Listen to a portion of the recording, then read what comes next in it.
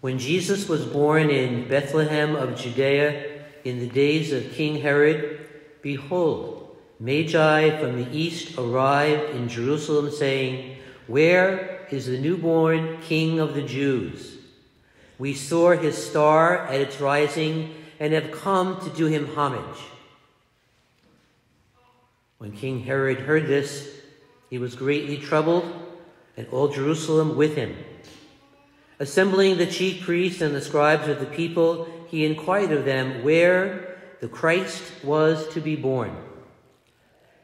They said to him, In Bethlehem of Judea, for thus it has been written through the prophet, And you, Bethlehem, land of Judah, are by no means least among the rulers of Judah, since from you shall come a ruler who is to shepherd my people Israel. Then Herod called the Magi secretly and ascertained from them the time of the star's appearance. He sent them to Bethlehem and said, Go and search diligently for the child. When you have found him, bring me word that I too may go and do him homage. After their audience with the king, they set out. And behold, the star that they had seen at its rising preceded them. And it came and stopped over the place where the child was. They were overjoyed at seeing the star, and on entering the house, they saw the child with Mary, his mother. They prostrated themselves and did him homage. Then they opened their treasures and offered him gifts of gold, frankincense, and myrrh. And having been warned in a dream not to return to Herod, they departed for their country by another way. The Gospel of the Lord.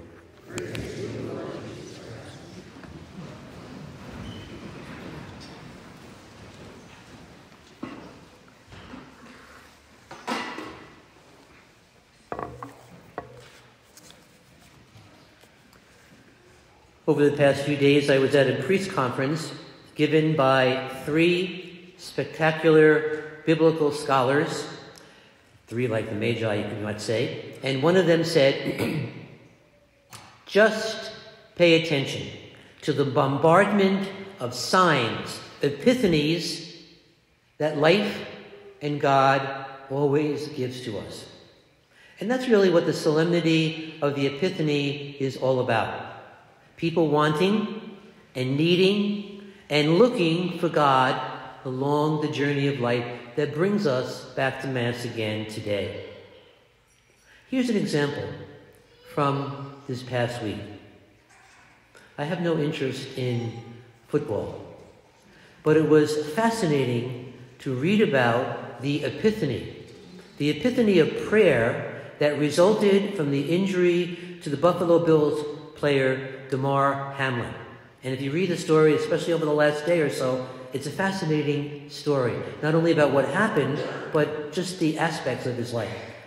And as he was being carried off the field to the hospital in Cincinnati, a huddle of players from both teams, the Bengals and the Bills, knelt down in a massive yet intimate circle on the field.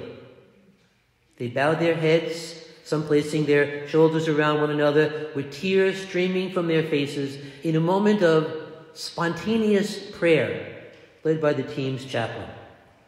The hushed crowd in the stadium burst into applause as the players knelt and again as they rose up. It was the first of many prayers in an extraordinary display, epiphany, revelation of public piety that has unfurled across the country, even to many of us folks who are outside of the sports world. The invocations on behalf of that 24 year old player have gone way beyond the typical pro forma thoughts and prayers often spoken by public figures after a tragedy. Videos circulated online of Bengals in the fans reciting the Lord's Prayer beautiful witness of, of people coming together. On Tuesday, I read a story online about an ESPN commentator who was himself a former NFL quarterback who just stopped talking on air about the accident and told his, his colleagues right in the middle of a live broadcast that it's just in my heart that I want to pray. And so, bowing his head and closing his eyes, he did so. And he said, God, we come to you in these moments we don't understand. I believe in prayer, we believe in prayer, and we lift up Damar Hamlin in your name. And his co anchors murmured, Amen. To outsiders, the intensity of these expressions of faith might seem surprising, an unusual display of public devotion in an increasingly, obviously secular society. But as the New York Times editor wrote, to observers of the close relationship between Christianity and American football, the exhortations to prayer are pretty natural. And he went on to say, in part because of the NFL's racial diversity, the evangelical spirit within is less concerned with the culture war politics and more about applying the Bible. Applying the Bible understood through the evangelical lens of practical needs for the players and their families. At their athletic performance, of course, their marriages, their families, situations in family life, addictions, and dealing with injuries and setbacks. So, what does all this have to do with the Epiphany? Well, I think it shows that we're all on this journey of trying to discover and find God together. And I think it connects to the basic human need that brings us back to church week after week of questing, questing for something more. God is here in the midst of our joys and also in the midst of our struggles. And so we have this beautiful story today. Putting one foot in front of the other, people have moved across the globe since the earliest days of human history, the journey. And like the Magi, human beings have traveled together for safety, for security, for support.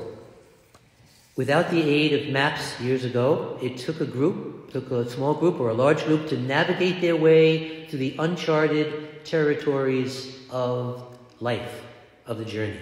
Stars, usually stars, but also trees and rivers and uh, these kinds of noticeable venues provided landmarks along the way where travelers could find their bearings and continue their destination to, where, to wherever they were going. Today, solo trekkers uh, aren't unusual. Air travel allows us to cover the globe within hours on journeys that took years to accomplish a century ago. Armed with GPS devices and internet connections, people don't need to depend, we don't need to depend upon a star to find our way to our destination. Unless, unless some obstacle, some accident, something happens that impedes our day to day activity. So, why do people restlessly move about the landscape of life?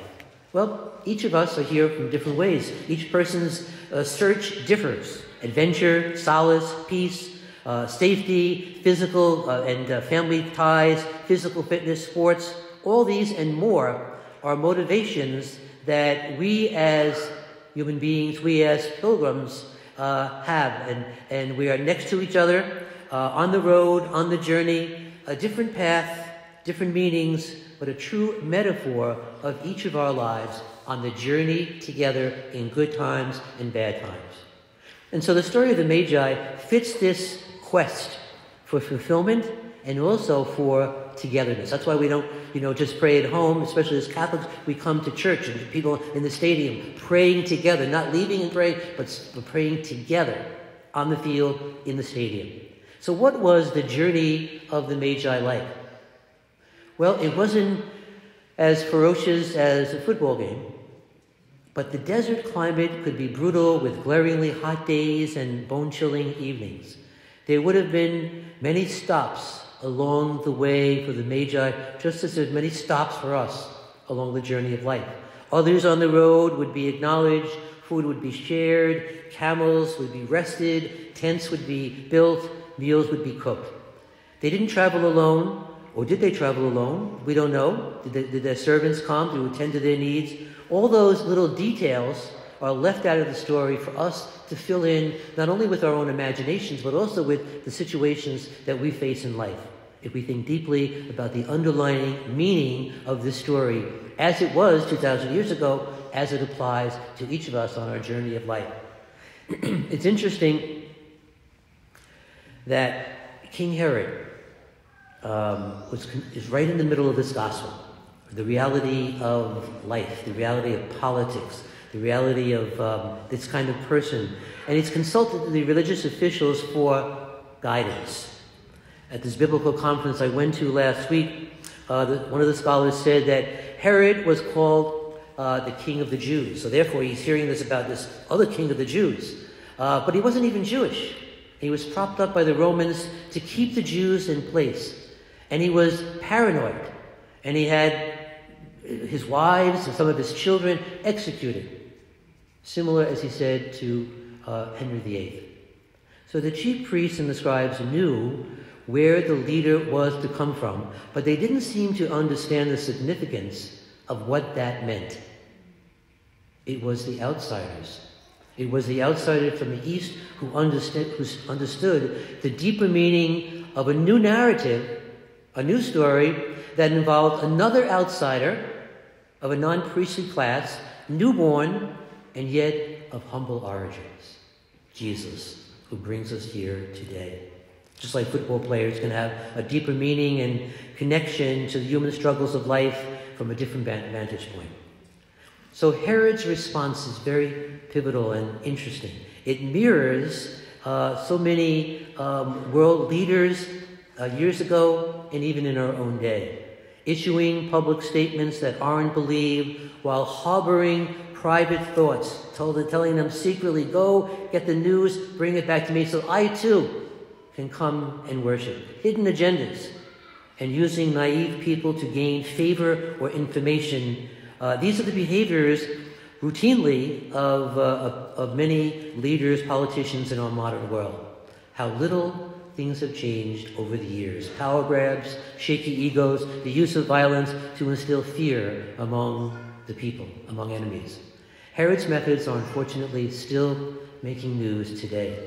But as Christians who follow the message of the Gospels, who bring us here today, we are called to be focused on the journey and not uh, to let the human darkness of other people out there, leaders or whoever it might be, and not to let the secularization of the culture dissuade us, deter us from following Jesus or just turning to God.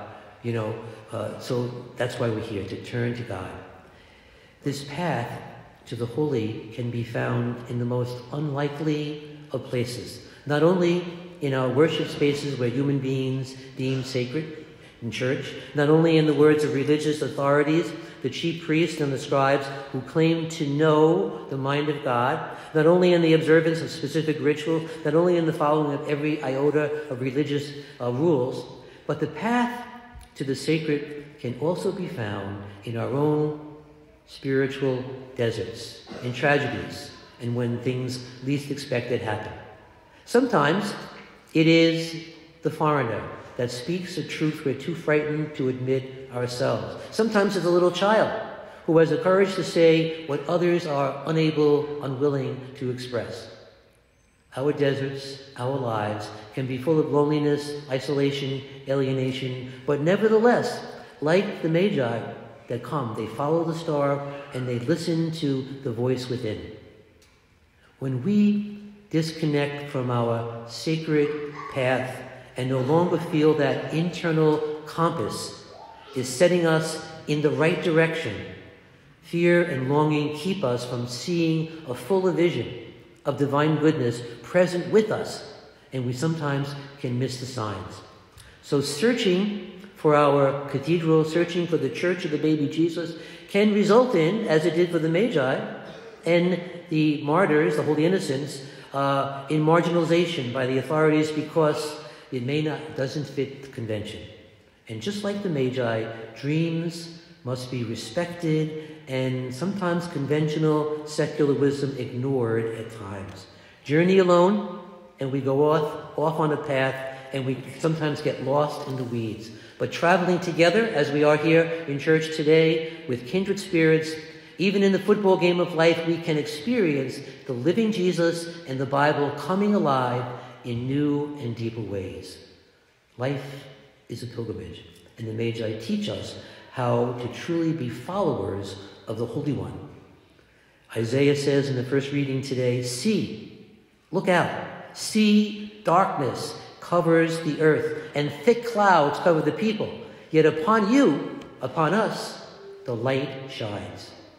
But it all depends on people, on us, looking up to find God in spite of the darkness that's still out there. And so as we begin a new year, let us, like the Magi, pay attention to the abundance of signs calling us to kneel and bow down in homage before and to God. But also, let us pay attention to the dreams, to the voice of conscience, to the dreams within us that challenge us not to return to the past, to the Herods out there, but to take a new route, returning home by another way on this journey of 2023. Amen. Happy Epiphany.